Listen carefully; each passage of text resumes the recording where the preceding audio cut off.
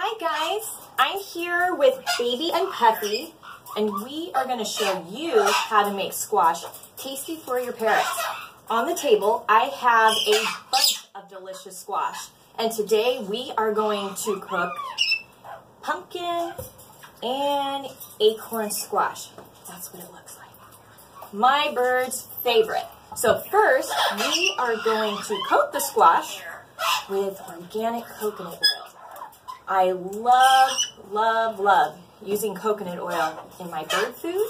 And I like to take just a little bit like this, dab it underneath my eyes right before I go to bed. I find I wake up looking refreshed and hydrated. So, enough of that. Let's get back to squash. So, once you have coated your squash with coconut oil and the pan you're going to bake your squash in, you are going to want to set your oven for 375. So, these guys are ready to go. We are going to stick it over here. And I'm back. So, while your squash is cooking for 25 minutes, we are going to make stuffing. Then, once we're finished with the stuffing, we're going to remove the squash, place the stuffing inside, and cook for another 20 minutes. Now, remember, all ovens are an individual. All squash come in different sizes. So, you want to use your best judgment. You want the squash to be tender when you cook it with a fork. So, be careful and don't overcook your squash. All right, let's make some stuffing. Okay, Puffy, so are you to help me here? So we've got two different stuffings we're to make. And first, we're to start out with Ceylon cinnamon. Now, Ceylon cinnamon is the purest and the safest of cinnamons. Cheap cinnamon can have toxins in it. So it's important to use Ceylon. So we're to put a little Ceylon. We're to stick a little bit of oats, flax, unsweetened coconut, and almonds into the bowl. Then we're to do cranberries. Fresh cranberries, they're in season, so we're to take advantage of that. Apples. Italian squash. And yellow squash. And then we're to put my favorite quinoa into the bowl. So now we're to mix. Guys, you want to help Mama? Here's your spoon.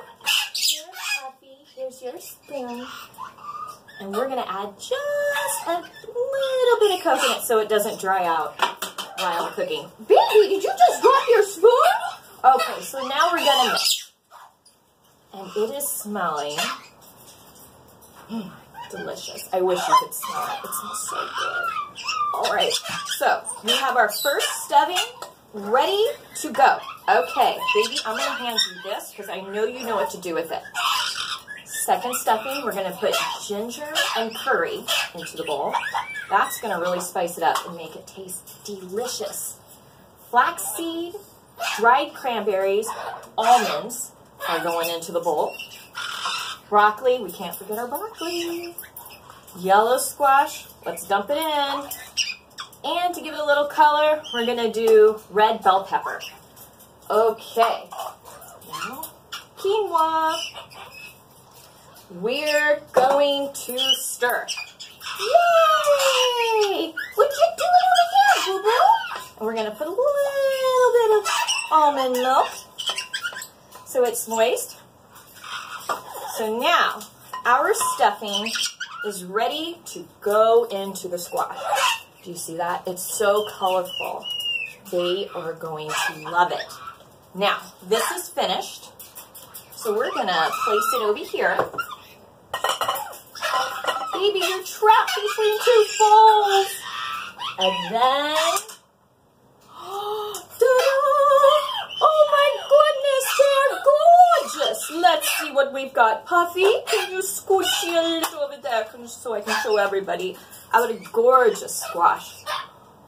Oh, it's beautiful. And it smells good. They are going to love it. And they're going to love you.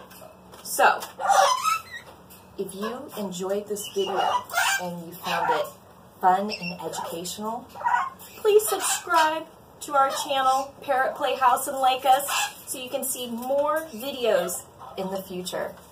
Puffy? Say hi. Are you ready to eat? Yes? Oh, baby's not wasting any time. There we go, guys.